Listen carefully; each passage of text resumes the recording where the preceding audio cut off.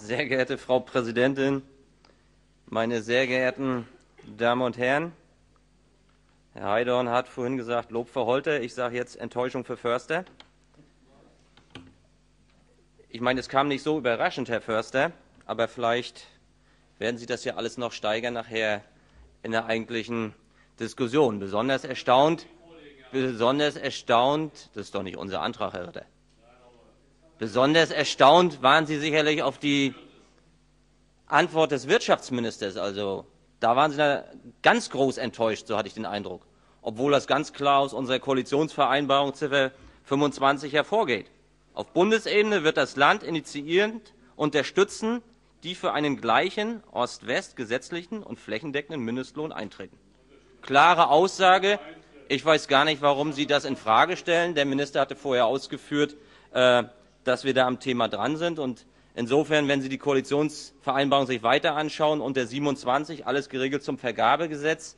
Und ich könnte es mir jetzt kurz machen, indem ich sage, der Minister hat ausreichend Ihr Thema hier abgehandelt. Es ist auch so.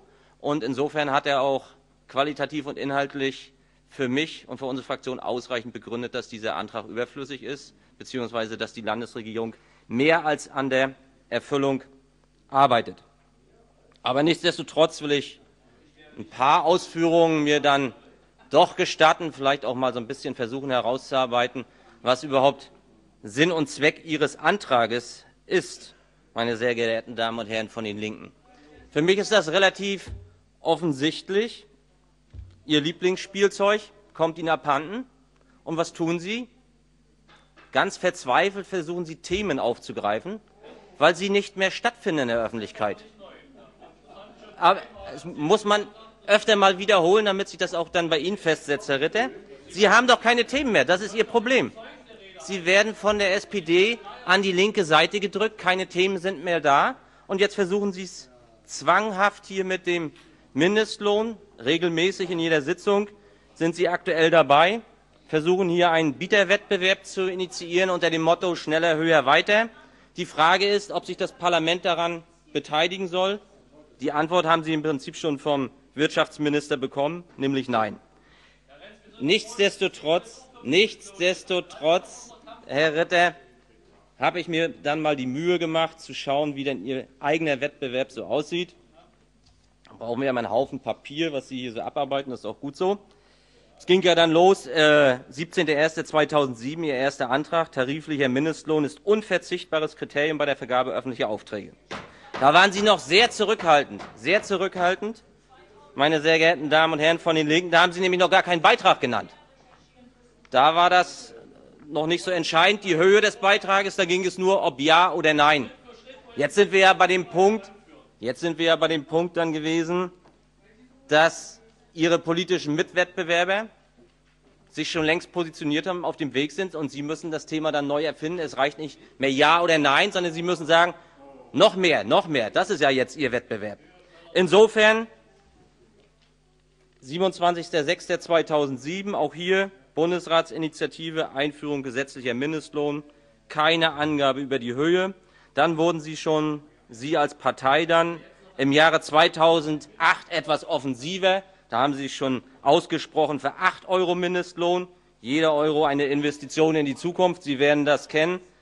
2008 dann wurden Sie ja auch in Berlin beim Vergabegesetz aktiv. Nicht Sie persönlich, aber Ihre Mitstreiter parteilich.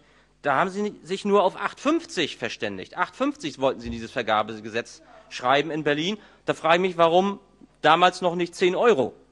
So lange ist es noch nicht her. Jetzt waren Sie dann 12.01.2011 in diesem Landtag aktiv, haben endlich dann die 10 Euro hier auch bei dem Gesetzentwurf mit eingebracht. Und insofern kann ich Ihnen nur sagen, dieser, dieser Wettbewerb, die Zeit nehmen wir uns, die Zeit nehmen wir uns, Herr Retter. Diesen Wettbewerb werden wir uns nicht stellen.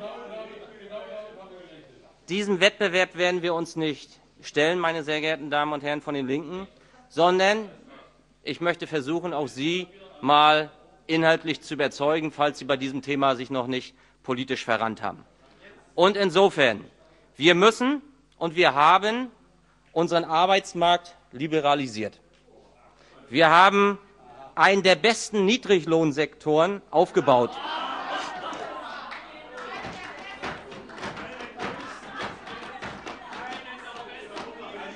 den es in Europa gibt. Den es in Europa gibt. Ich rate allen, die sich damit beschäftigen, sich mit den Gegebenheiten auseinanderzusetzen und nicht nur mit den Berichten und nicht nur mit den Berichten über die Gegebenheiten. Deutschland, Deutschland neigt dazu, sein Licht unter den Scheffel zu stellen, obwohl es das Falscheste ist, was man eigentlich tun kann.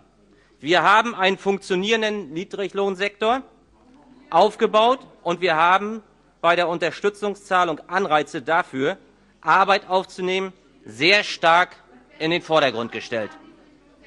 Wenn Sie den Puls dann nachher wieder langsam runterfallen und mich weiter ausreden lassen, dann will ich Ihnen sagen, dass ich hier ein Zitat vorgetragen habe vom 28. Januar 2005 in Davos, und zwar vom Bundeskanzler AD Gerhard Schröder. Damals war er noch in Verantwortung. Warum habe ich das getan? Warum wollen wir uns hiermit inhaltlich auseinandersetzen? Weil aus meiner Sicht wir doch mal die Situation betrachten müssen. Wenn Sie Ihre Begründung zum Beispiel sich anschauen, 20 von 27 EU-Staaten, dort gibt es Mindestlöhne, zählen Sie alles auf. Da stellt sich für mich die Frage, wenn ich die aktuelle politische Situation betrachte, warum ist eigentlich Deutschland in Europa und in der Welt Vorbild? Warum werden wir mit unserer erfolgreichen Wirtschafts- und Arbeitsmarktpolitik von allen wieder genannt? Warum wollen die Leute hier zu uns kommen, obwohl wir keinen Mindestlohn haben? Ich will das jetzt nicht debattieren, Mindestlohn ja, nein, gut, richtig, schlecht und so weiter, sondern ich will einfach mal den Fakt ganz ruhig, realistisch hier in die Runde stellen. Und auch möchte ich dann mir doch mal erlauben, die Arbeitsmarktzahlen in Deutschland von 91 bis 2011 zu betrachten. Im Jahre 91 hatten wir 2,6 Millionen Arbeitslose. Dieser Wert stieg an bis 2005 auf 4,86 Millionen. Der Höchststand, den wir in Deutschland jemals im Bereich der Arbeitslosenstatistik hatten. Dann kam Arbeitsmarktreform von zwei Parteien, unterstützt auch von der CDU, die Deutschland fit gemacht haben für die Zukunft. Und die Frage ist, mit welchem Ergebnis?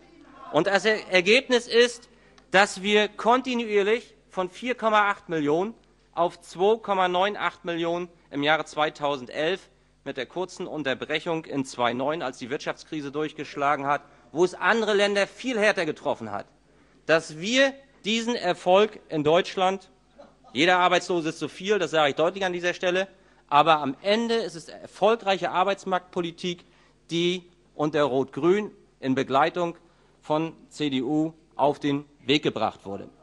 Und das sind Fakten. Und da sollte man aus meiner Sicht jetzt nicht, nur weil es uns so gut geht, diese Maßnahme vielleicht in der Gesamtheit sofort über den Haufen werfen und sagen, jetzt geht es uns gut, wir sind vielleicht auf Wolke 7, wir werfen jetzt alles über den Haufen. Nein, wir müssen die Arbeitsmarktinstrumente, so wie wir es neulich in der Diskussion haben, prüfen, zielgenauer einsetzen, und zwar da, wo wir unsere Schwächen haben, bei Älteren, bei Unqualifizierten, da müssen wir unsere arbeitsmarktpolitischen Instrumente einsetzen und nicht alles von heute, von heute auf morgen über den Haufen werfen. Und wenn wir uns dann mal die Statistik noch etwas genauer anschauen, und die Kollegin von der Grünen hat das ja hier mit Ausführungen getätigt. Ich weiß nicht, wo Sie Ihre Quellen her haben. Äh, ich lasse mich gerne nachher widerlegen. Ich sage Ihnen, was Sie hier gesagt haben, war mehr als falsch, was den Niedriglohnsektor betrifft. Wenn wir nämlich parallel neben der Arbeitslosigkeit uns den Niedriglohnsektor anschauen, dann ist es eben so gewesen, dass von 94 bis 2004, 2005 wir tatsächlich einen anwachsenden Niedriglohnsektor hatten, nämlich von 16 bis 22 Prozent. Und anschließend, nach den Arbeitsmarktreformen, kam es gar nicht mehr zum Anstieg, sondern wir liegen weiterhin konstant bei 22 Prozent und alles andere, ich lasse mich da gerne revidieren, ist aus meiner Sicht dann hier unredlich wenn Sie das so verkaufen. Wir haben in Deutschland diese Situation, so wie Sie sie dargestellt haben, nicht. Und das Ganze haben wir bei konstanten Beschäftigungszahlen von ca. 40, 41 Millionen Beschäftigten. Das sind die Fakten, und ich glaube, die sollte man nicht schlecht reden, sondern wir sollten stolz sein auf das, was wir hier in Deutschland vorfinden. Was natürlich richtig ist, und mit solchen Themen müssen wir uns befassen, wenn wir uns die Statistik anschauen, wie sieht das Arbeitskräfteverhältnis bezüglich der Arbeitsgruppen aus, dass es eben klar zur Verschiebung gekommen ist, dass wir eben jetzt viele ältere Arbeitnehmer haben und gerade die Erwerbstätigen bis 30 Jahre nur noch einen Anteil von 8,6 Millionen ausmachen werden im Jahre 2020. Das sind Themen, wenn wir diese 8,6 Millionen auf 40 Millionen beziehen, mit denen wir uns befassen müssen. Und da müssen Maßnahmen eingeleitet werden. Ich will auch noch mal, und ich will es vorweg sagen, es soll hier keine Werbung für den Niedriglohnsektor sein. Aber mir geht es hier, mir geht es hier um eine, mir, jetzt hat die SPD endlich das Zitat verdaut. Mir geht es hier um eine sachliche Auseinandersetzung, wo nicht die Fakten einfach weggeschoben werden. Und insofern möchte ich dann mal auch die Thematik Niedriglohn noch etwas genauer untersuchen und hier vorstellen anhand von drei Punkten. Arbeitsgrundlage ist ein Gutachten der Niedriglohnsektor in Deutschland, Entwicklung, Struktur und individuelle Erwerbsverläufe. Institut der deutschen Wirtschaft, IW im Auftrage des Institutes Deutsche Soziale Marktwirtschaft. Was hat so ein Gutachten herausgestellt? Als erstes die These, Mindestlöhne verhindern nicht nur den Einstieg in den Arbeitsmarkt, sondern auch den finanziellen wie sozialen Aufstieg. Die Untersuchungen, die uns hier zugrunde liegen, besagen eindeutig, dass bei dem Einstieg über den Niedriglohnsektor im darauffolgenden Jahr 24 Prozent in den Bereich der Normalverdiener gehen. Das heißt, jeder Vierte wird in den ersten Arbeitsmarkt mit vernünftigen Verdienstverhältnissen, das, was wir was uns hier eint, davon gehe ich aus, äh, in diesen ersten Arbeitsmarkt, in diesen Bereich der Normalverdiener überführt. Im Gegensatz dazu, bei der bestehenden Arbeitsmarktlage gehen unter 5 Prozent nur den umgekehrten Weg. Also ich will sagen, auch das ist ein Vorteil, den man sicherlich zur Kenntnis nehmen sollte und auch diskutieren sollte. Ein zweiter Punkt befasst sich mit der Armut, mit der Armutsgefährdung Armutsgefährdung der Beschäftigten. Auch hier wird klar herausgearbeitet, dass die Armutsgefährdung bei denen, die im Niedriglohnsektor arbeiten, nur bei 16 Prozent liegt und die, die arbeitslos sind, ein, eine Rate haben von 60 Prozent. Also hier, auch da muss man sagen, nicht nur Nachteile zu erkennen. Und eine interessante weitere Statistik, die ich nicht vorenthalten möchte, ist der Sektor der Normalverdiener. Der Sektor der Normalverdiener, wenn sich die Statistik anschauen, ist seit 1994 bis im Jahre 2009, das ist die letzte Zahl, die mir hier jetzt vorliegt, konstant zwischen oder um die 45 Prozent. In den letzten beiden Jahren sogar bei 48 Prozent ansteigend. Also auch hier, glaube ich, ist nicht die, der Fakt angebracht, alles nur schlecht zu reden. Ansonsten bringt uns das nämlich auch in einer inhaltlichen Diskussion, wenn es um die Suche nach neuen Lösungen gibt, nicht weiter.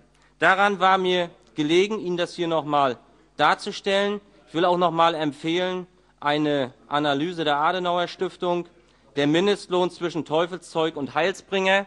Ich sehe das übrigens dann ähnlich wie bei der Podiumsdiskussion herausgearbeitet wurde bei der AOK. Wenn wir uns nur zwei Systeme anschauen, dort auf der einen Seite das Prämienmodell, wenn es um die soziale Krankenversicherung geht, und auf der anderen Seite dann die Bürgerversicherung, das Prämienmodell auf der einen Seite, Herr Niseri, und die Bürgerversicherung auf der anderen Seite. Ich glaube, da sind sich alle, die einigermaßen korrekt die Situation sich anschauen, jetzt schon der Auffassung, wir brauchen sicherlich Teile aus beiden. Und ich prognostiziere, naja, Herr Niseri, das wird der politische Diskussionsprozess dann zeigen, in welche Richtung es geht. Ich will Ihnen nur sagen, Mindesteinkommen, Mindestlohn, ähnliches. Auch hier, glaube ich, haben wir eine ähnliche Gefechtslage. Und wenn Sie sehen, wie eine Volkspartei CDU sich dieses Themas annimmt und nach Lösungen sucht, dann werden Sie sicherlich bestätigen können, dass wir hier auch auf einem guten Weg sind. Ich möchte vielleicht als letztes ich will vielleicht noch als letztes anmerken, auch in der Hoffnung, dass Herr Förster vielleicht nachher mal darauf eingeht, weil mir das doch etwas auch auffiel, auch bei der Kollegin der Grünen. Ich ergänze dann, dass Herr Förster sachlich auf die Situation eingehen wird, Frau Borchert.